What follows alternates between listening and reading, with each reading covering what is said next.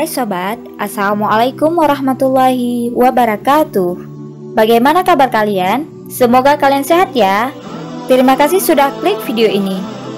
Mari bagikan pengetahuan Islam dengan cara Like, share, and subscribe channel Kepun Islam. Semoga bermanfaat bagi kita semua. Kepun Islam yuk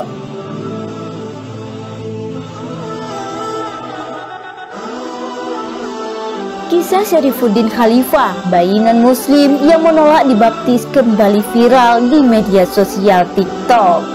Mengingat peristiwa tahun 90-an, kala itu dunia gempar dengan berita besar seorang bayi berumur 2 bulan dari keluarga Katolik di Afrika yang menolak dibaptis. Mama, ini si bi baptis, namini kewa Allah, na jumbe wakil Muhammad. Ibu, tolong jangan baptis saya. Saya adalah orang yang beriman kepada Allah dan Rasulnya Muhammad. Katanya ketika itu. Mendengar itu, ayah dan ibunya, Domisia Francis pun bingung. Kemudian mereka mendatangkan seorang pendeta untuk berbicara kepada bayi itu. Apakah kamu Yesus? Dengan tenang sang bayi Syarifuddin itu menjawab, Tidak, aku bukan Yesus. Aku diciptakan oleh Tuhan, Tuhan yang sama dengan yang menciptakan Yesus.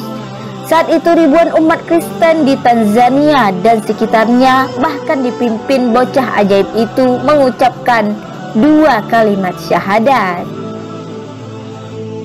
Bocah Afrika kelahiran 1993 itu lahir di Tanzania, Afrika. Ia merupakan keturunan non-muslim, sekarang bayi itu sudah dewasa. Setelah ribuan orang di Tanzania, Kenya memeluk agama Islam berkat dakwahnya semenjak kecil, simak ulasan selengkapnya hanya di Kepun Islam Official.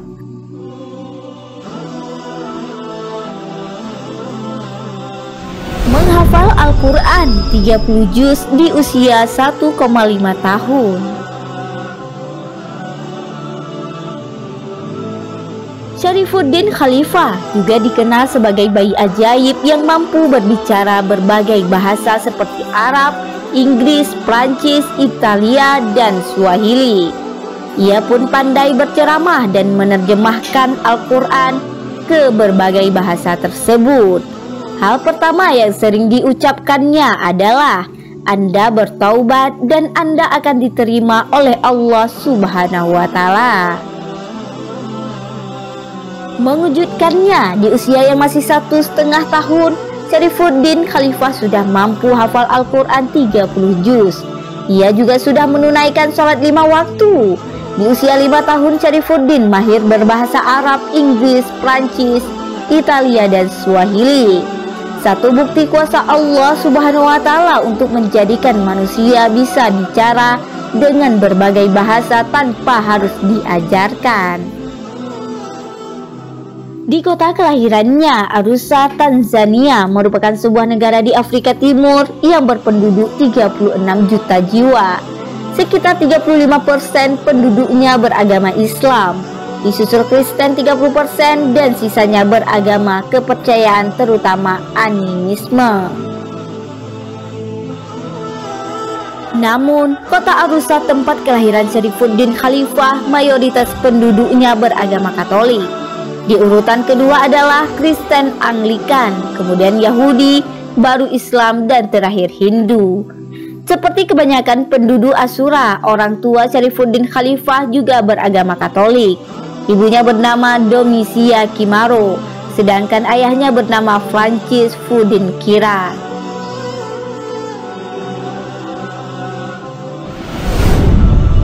Kelahiran Syarifuddin Khalifah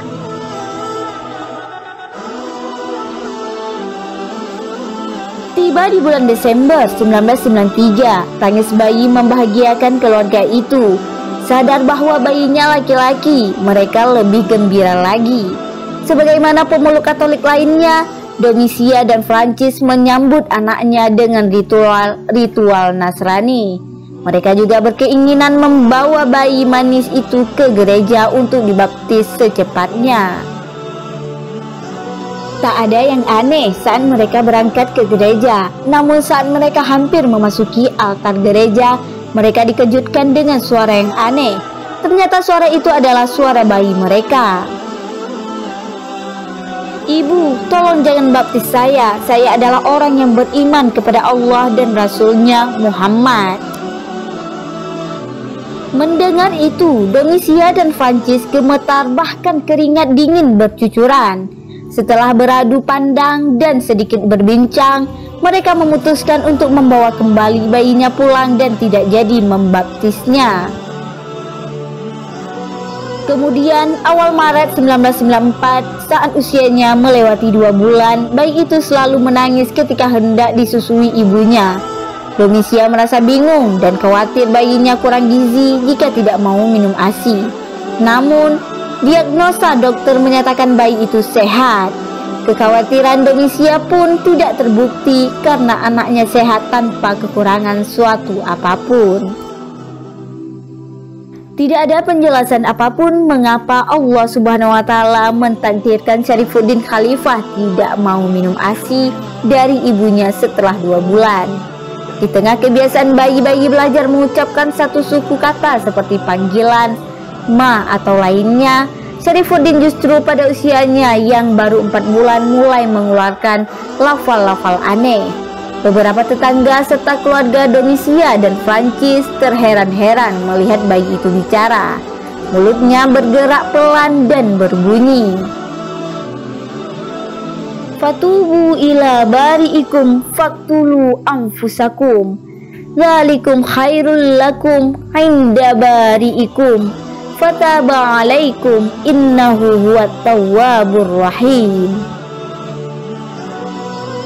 Orang-orang yang takjub menimbulkan kegaduhan sementara, namun kemudian mereka diam dalam keheningan.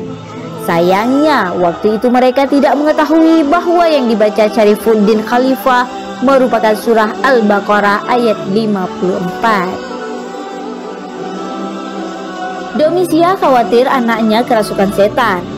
Ia lalu membawa bayi itu ke pastur, namun tetap saja Syarifuddin mengulang-ulang ayat itu. Hingga kemudian cerita bayi kerasukan setan terdengar oleh Abu Ayub, salah seorang muslim yang tinggal di daerah itu. Saat Abu Ayub datang, Syarifuddin Khalifah juga membaca ayat itu.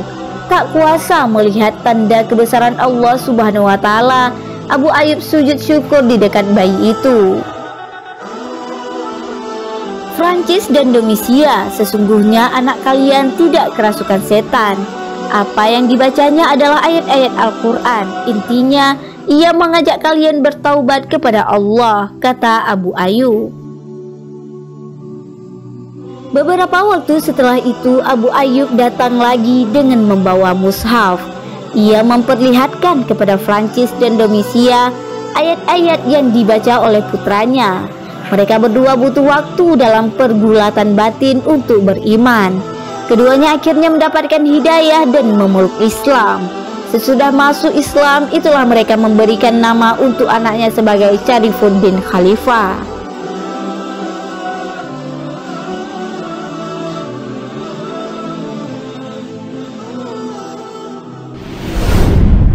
Ribuan masyarakat Kenya bersyahadat.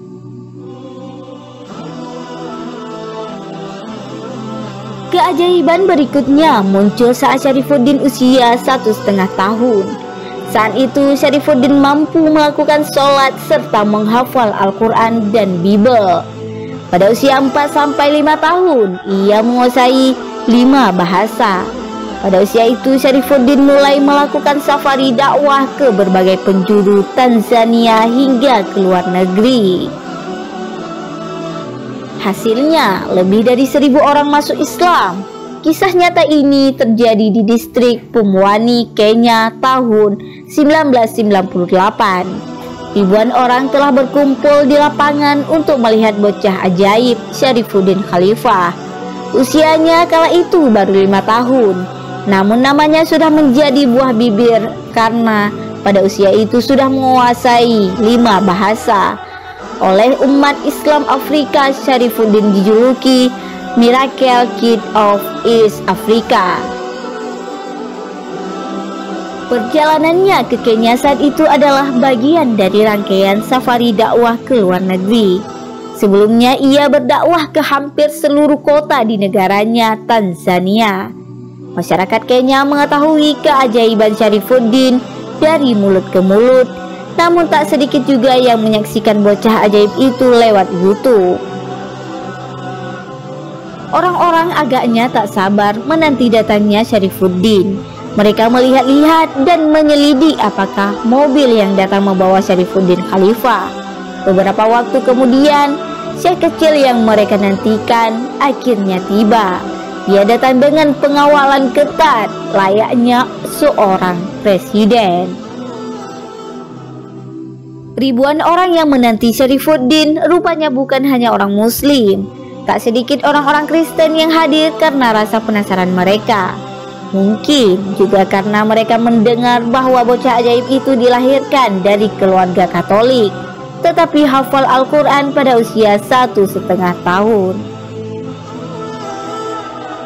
Ditemani Haji Marolin, Syarifuddin menuju tenda yang sudah disiapkan.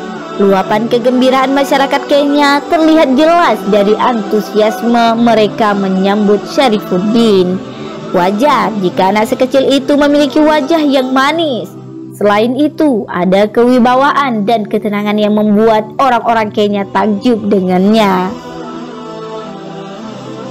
Kinilah saatnya Syekh itu memberikan tausiah.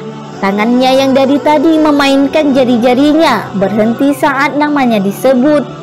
Ia pun bangkit dari kursi menuju podium. Setelah salam, ia memuji Allah Subhanahu wa taala dan bersalawat kepada Nabi.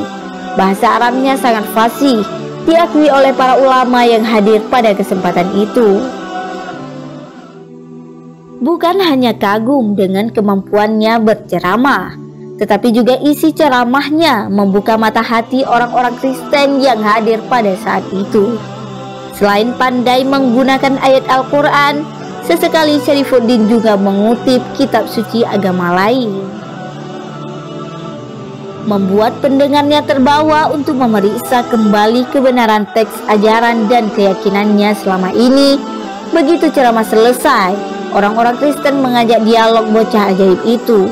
Syarifuddin pun melayani mereka dengan baik. Mereka bertanya tentang Islam, Kristen dan kitab-kitab terdahulu. Syarifuddin pun mampu memberikan jawaban yang memuaskan. Dan itulah momen-momen hidayah hingga ratusan pemeluk Kristen yang berkumpul di sekitar Syarifuddin mengucapkan syahadat. Menyalami tangan salah seorang perwakilan mereka, Syarifuddin menuntun syahadat dan mereka menirukan. Asyhadu an la ilaha illallah wa asyhadu anna muhammadar rasulullah.